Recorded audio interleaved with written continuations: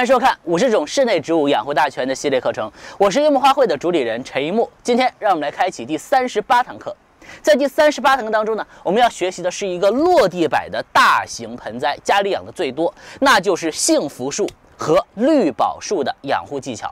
那幸福树呢和绿宝树都是一样的植物，这个一样主要指的是呢，它们都是来自紫薇科菜豆树属的植物。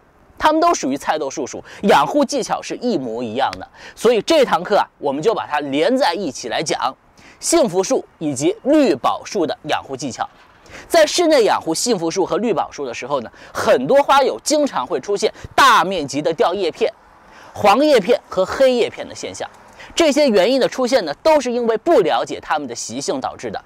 那这堂课呢，应不将详细的讲解在室内盆栽当中应该如何养好幸福树和绿宝树，以及呢详细的给大家分析一下它们的习性。我们来看吧。好的，我们首先来了解一下幸福树和绿宝树对光照的要求。那幸福树也好，绿宝树也好，它到底是喜阴的还是喜阳的呢？这里我可以直接的告诉大家，它们一定啊是一个喜阳的植物，它不是喜阴的。但是它们的特点是非常的耐阴。你把它养在阴性的环境，一点问题都没有，是没有问题的。所以在家庭盆栽里面，幸福树、绿宝树是可以摆在客厅里的、卧室里的，你摆着没问题。阳光不足，甚至没有阳光，它也长期不会发生很明显的变化。但是，如果你想养好它，而不是说仅仅观赏它，你想把它养得很好，那么它是需要阳光的，光照充足啊，对它的生长是很有利的。这一点大家一定要注意一下啊！那它是一个这样的植物，春天、秋天、冬天可以晒太阳，夏天阳光太猛烈的时候就不要晒，容易晒伤。其他季节是完全可以晒的，它是喜阳的物种，它不是喜阴的。所以这个关于光照的方法论我讲得很清楚。如果你想把它养得更好，在春天、秋天、冬天这三个季节让它晒晒太阳。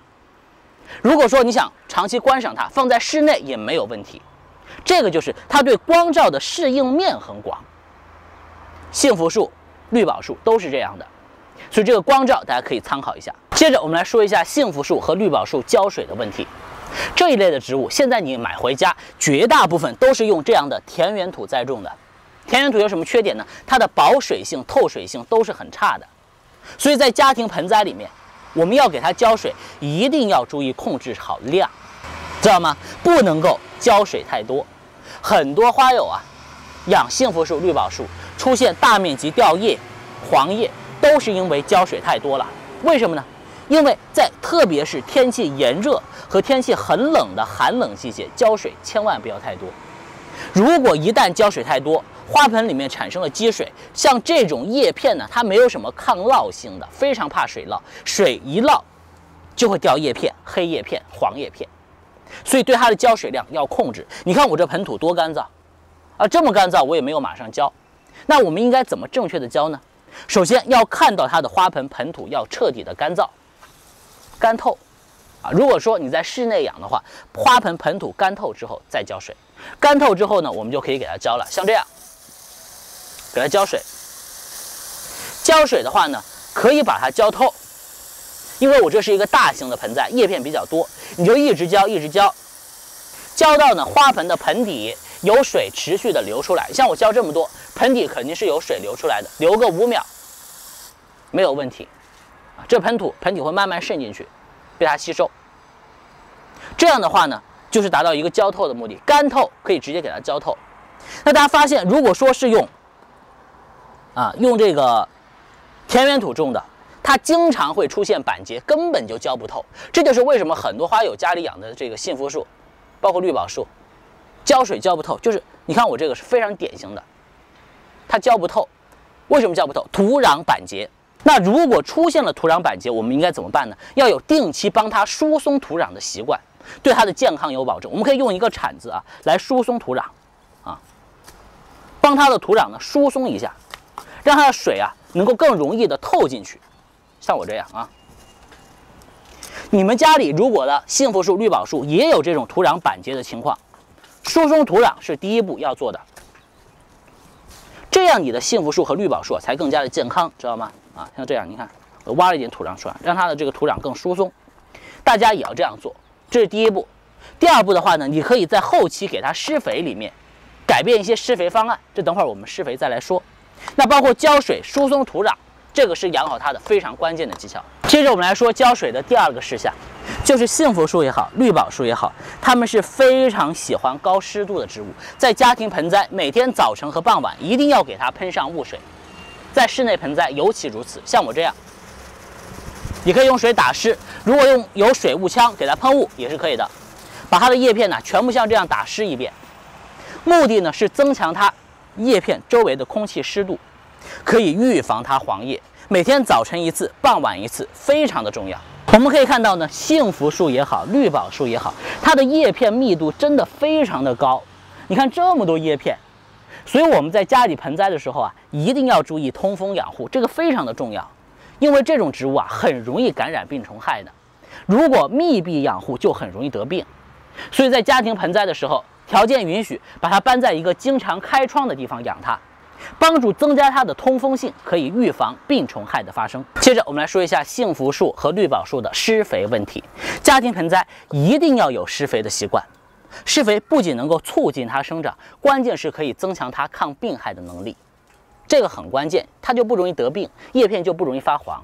那施什么肥呢？如果你的幸福树土壤啊比较疏松透气，没有板结，那我们可以直接使用复合肥，复合肥就可以了。每隔二十天到一个月的时间，往它的花盆里面倒一点复合肥，这样每次浇水的时候呢，都可以被它吸收进去，被它吸收。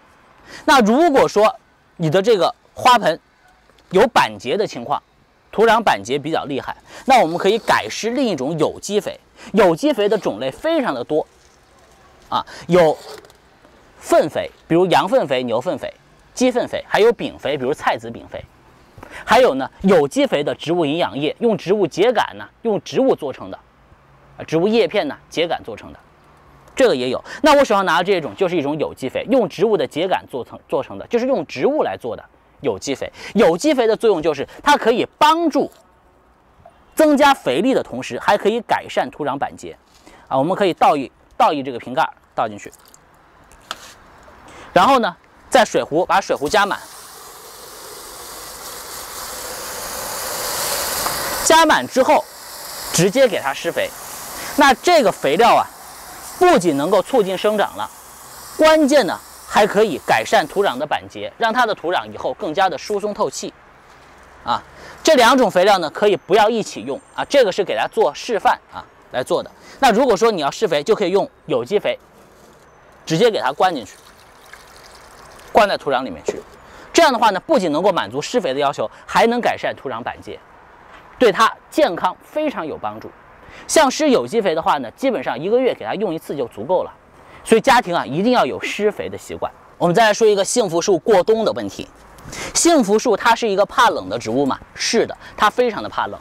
在家庭盆栽里面，我们一定要注意，在冬天啊，不要把它养在太冷的环境，把它搬在你室内温暖的房间去养它。冬天最好要高于十度，它不是非常耐冻的。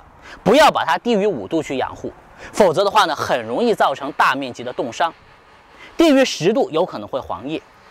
所以说，在冬天高于十度去养护它，就远远的足够了。要有过冬的概念，而且到了冬天不要浇水太多，这也是我反复重复的，非常的重要。冬天注意保暖和少浇水。好的，接下来我要给大家讲解的是如何修剪幸福树这个问题，很多花友都有疑惑。那今天一木就来教大家，幸福树在家庭盆栽里面，对它的生长来说，一般没有修剪的要求。就是它长长不会影响它的生长，它是一个观叶植物。但是很多花友都有要求，说我的幸福树长得太高太大了，我不喜欢，我要剪它，我怎么剪？我就教大家两个字，叫做自信。要自信的修剪，什么意思呢？就是如果你不满足它的形状，你觉得它哪一面长高了，大胆的、自信的去剪嘛，没有什么其他的条条框框，没有的。只有一点，就是不要剪太多，尤其是在天热的季节，不要剪太多，少剪一点，啊，最多最多不能超过整个植株枝条的三分之一，否则有可能剪死它。注意这个就行了。那其余下剪子大胆的剪，你看樱木的啊。如果说你的幸福树长高了、长残了不好看，我们这个剪、剪、剪剪，打它的外围啊，里面剪，底部剪，这里也可以剪啊。只要是你觉得这个枝条它不满足你的生长的条件，它不满足你生长的它生长的位置，你都可以给它这样做修剪，自信的去剪它，没有任何的问题，剪哪里都可以。为什么？因为这个植物本身就是比较耐修剪的，不会因为你修剪造成什什么样，只要你不要剪太多，都没有问题。所以在这一点情况下，大家完全可以什么放心的大胆的去剪，不要有太多的疑虑，看到就剪就行了，想剪就剪就行了。这个就是幸福树的修剪。总之两个字，提醒大家就是自信。只要你觉得它的造型不满意，剪，剪成你想要的形状，懂吧？所以说大胆的剪。自信的剪，没有任何的问题。好了，那这堂课关于幸福树和绿宝树的养护技巧就给大家分析到这里，希望大家继续努力学习下方的课程，养花看你们就好了。